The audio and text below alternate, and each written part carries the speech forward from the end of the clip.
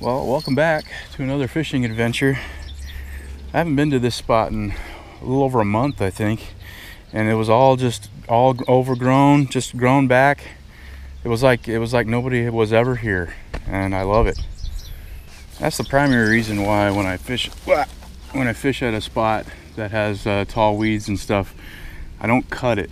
I just uh, just mash it down because you know a week or two after I'm gone, it's back uh, it's back to where it was uh, before I got here, and it's like nobody's been here. If you cut it, then what you've done is created a spot, and other people will come here, and next thing you know, this this spot is going to be all full of garbage and uh, just just ruined. So that's why I like to mash the weeds down instead of cut them whenever possible. It's a little after seven. Uh, we're in the middle of July now getting hot today. I'm out here fishing before it gets hot. These are almond flavored tiger nuts that I prepared, uh, I don't know, just a week or two ago, I guess. Uh, I made some new, a few new batches of tiger nuts. Uh, that should last me the rest of the summer. Yeah, and these are starting to get slimy already. Something about the almond flavoring that makes them get slimy. My other flavors don't do that. This pack bait I made last night, I like to do that, make it ahead of time for early morning sessions. It's my usual, if you've been around you know it. It's uh, oats, sweet feed, can of cream corn, and vanilla. A lot of people ask about the bait in the comments.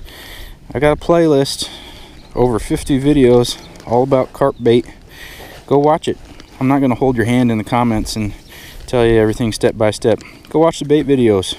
You'll learn something.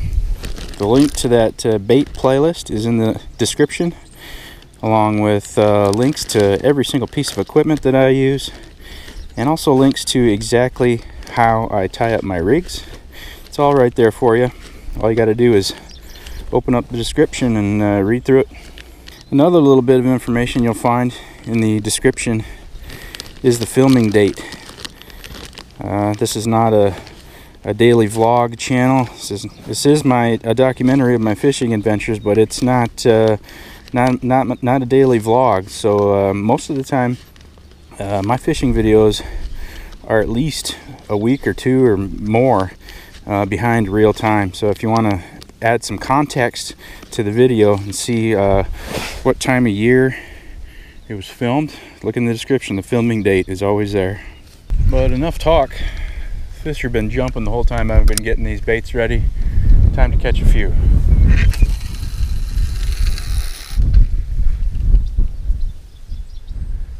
Yeah, nice and shallow over there. Three, four feet of water.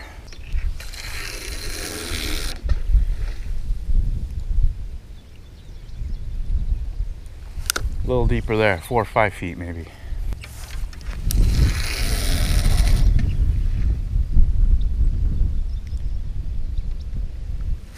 And about the same there four or five feet. This is a little bay off of a, a bigger lake.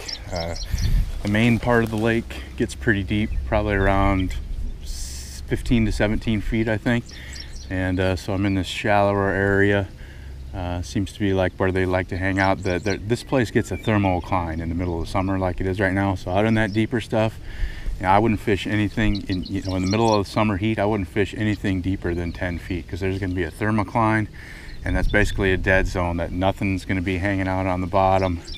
Uh, the fish that do go down there just for just for a little bit because that ox that water is so low in oxygen they just can't hang out down there so yeah fishing shallow water in the middle of summer is where it's at at least in lakes like this where there is a thermocline not all lakes get it uh, it's hard to tell. I can't tell. I can't tell you if your lake has a thermal thermocline or not. You're just going to have to investigate it for yourself. And if you're thinking, what in the heck is a thermocline? Well, then you've got some homework to do, I guess. I, I'm not going to try and explain it because there's there's videos that you could watch that are going to explain it uh, much more clearly than I would, and they have uh, probably some graphics to help explain it too. It's a good thing to know uh, for fishing, though. Definitely, after you're done watching this video, maybe read into that.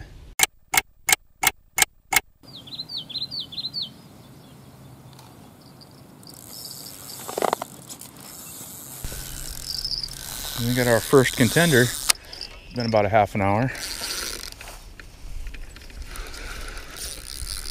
I was just getting into reading that book that I just started, but that's all right. I'll take a break to catch a fish. Brought the net cam today. Got some nice clear water. Should get some good shots. I got a pretty good fight on my hands here too. It's feeling pretty good. This lake isn't known for giants, at least not in my experience. There's a certain kind of fish that I really want to catch, but I'm not going to mention it here. We'll see if see if it happens today. Keep the line down low to the water like the musky guys do. It seems to help. All right, come on in here, fella. Really shallow right here next to the bank, only a foot deep or so right here where my net is. He saw me. Summertime carp got energy for days.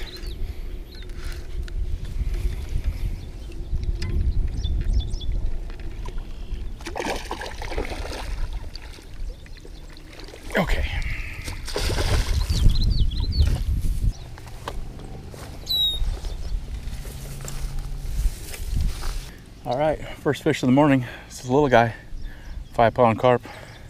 Gave me a good fight. Looks nice in that sunshine, doesn't he? Back in the water. Thanks for playing. See you later. If you've been paying attention to my videos as of late, you probably noticed that I've been pretty much fishing exclusively with tiger nuts in my hook bait. And uh, the primary reason is is this. I just caught a fish and they're still there. I don't have to do anything to the hook bait. Don't have to reapply it.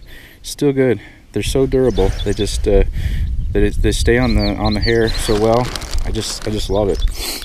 I also don't have to worry about um, nuisance fish picking my hook bait off. They can they can mess with it all they want, and they're not. It's not going to come off that hair. It's always going to be there. And obviously, you could get the same result with a plastic bait, with a fake bait of some kind. You absolutely could, but I like uh, I like using natural bait. I like using actual real food for the hook bait. Just my personal preference.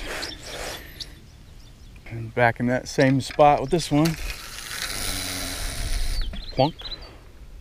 I suppose since I mentioned it, I probably should show it. This is what I'm reading this morning. The Art of Nonconformity by Chris Guillebeau.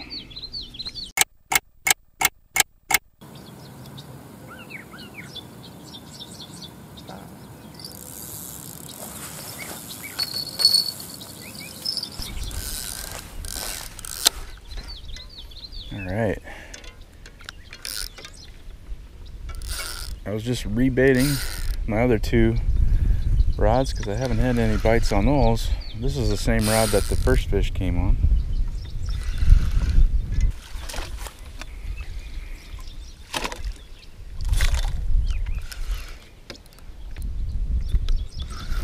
This fish is right next to the bank down there. He's in the super shallow stuff down there as you can see it's really shallow 10 feet out it's only a foot deep there been here about an hour. That's why I was uh, getting ready to rebait those other two lines. I like to do that about every hour. Not so much to replenish the bait but more to just check the rig to make sure it's not tangled or something. I like the idea of sitting there for long periods of time with a tangled rig. That's not going to do any good catching a fish.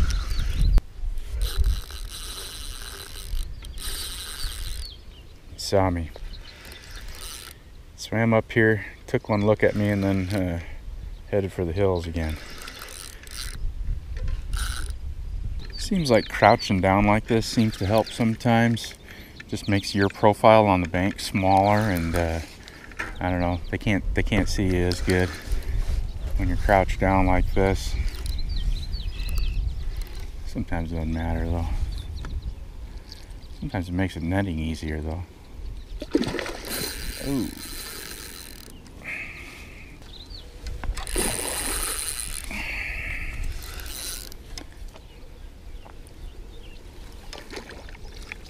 Okay, that's a little bit bigger fish than the first one. Cover the eyes, that uh, seems to help. They don't freak out quite as much. Sometimes it does, there's nothing you can do, but overall, seems like covering the eyes helps. yeah, fish number two of the morning. A little bit bigger than the first fish. I'd say this one's uh, about a six, seven pounder, I suppose. Gave me a good fight. Yeah, that sunshine's nice on these shiny gold fish. Back in the water. See you next time.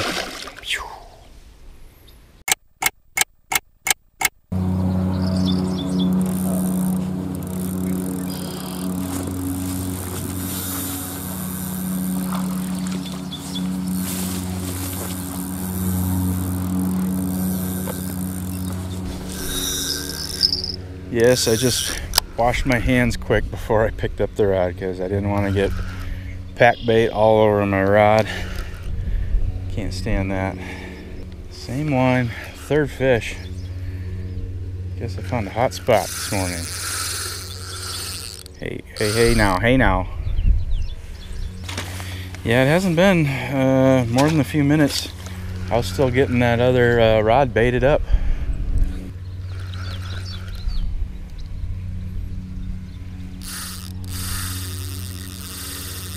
That's a technique that I like to do when fighting a fish. I'll, you know, so now I'm pulling them in, but if I feel them start to pull back hard, oh, I'll let them have it. You know what I mean? Pull them in and get some line. Oh, now it's double time. All right. Now it's a double time. I need to stop this fish from running. Okay. And then back in the rod holder that goes with the bait runner. Uh, and he'll run and I'll just keep an eye on that spool, make sure I'm not gonna get spooled. Starts getting too crazy, I'll pick that rod back up again and uh, stop him in his tracks so he doesn't uh, head for his favorite uh, log or boulder that's under there. I'm gonna do that right now. There we go put my finger on the spool a little bit and provide some resistance. Get him to stop stop heading over to his favorite log. Still haven't caught a glimpse of this fish here. Come on now. Yeah, what was I saying? Oh yeah. Well, so when I when I uh, pull on the fish, so now I'm gaining, gaining, gaining, gaining. But if I feel that fish start to pull hard back, I'll let him have it. Just seems to help reduce the hook pulls. Whenever you feel that hard, that fish pulling back hard, just give it to him. Let him, let him go. Come on in. Come on. Come on. Yes. That's even bigger than the first two. All right. I'm gonna go ahead and pick up on this other one this one has run way off to the left. This is my line that was off to the right, and now he's way off to the other side. Pick up on him. He's there, still there. I felt the line rubbing on something. Must have found a rock or something, but I think I'm, I'm clear now. And I'm gonna go ahead and do a double net job here. All right, so that fish is in the net sitting out there bring this fish over. It's not going to be a triple because my third line isn't in the water. It's sitting over there. I was in the middle of getting it rebaited. Hopefully this fish is a little uh, worn out since he went for such a long run. Come on in. Come on in. Join the party. Yes.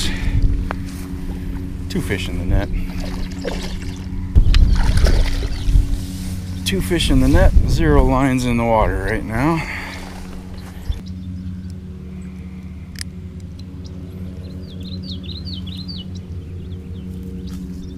This is the second fish, the smaller of the two. He's got some uh, parasite looking things going on on his tail. And you can see him a little better on that side maybe. There's the second fish, long skinny, probably a male fish.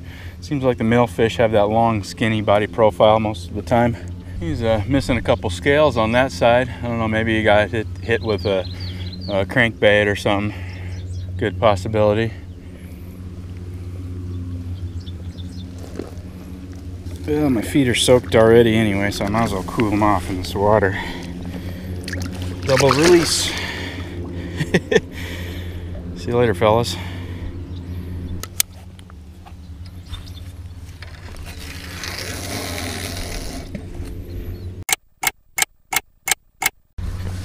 We got a carp that's hooked doesn't know what to do.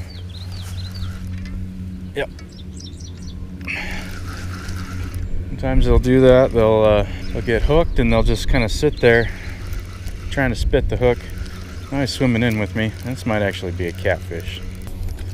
Yeah, that'd be a real good one if I was keeping catfish today. Stop it. So long, Charlie. Zoom.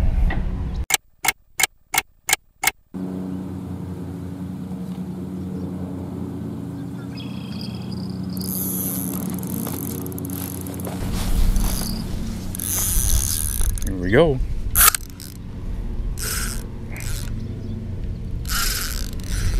Just starting to think uh, maybe the bite was done for the morning. It's probably about 9:30 or so. Starting to get hot. We've got a little breeze going, so it's still pretty bearable for me.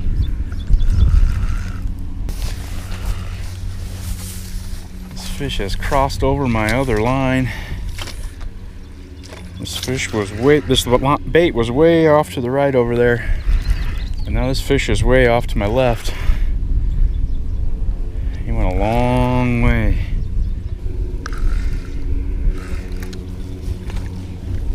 Gotcha. Gotcha. All right, so here he is, about par for the course, what I've been catching. I just had bells jingle on my other rod and now the line is slack. Let's go see what's going on there. Thanks for playing. See you later. You're kind of relaxed fish, aren't you? This line is slack. A little jingle while I was unhooking that fish. Eh, it's just a bass messing with it. All right, well that's gonna be it for this morning. Just a just a short morning session uh, before the heat of the day sets in. Five fish, pretty good morning. Thanks for watching. I appreciate it. See you on the next one.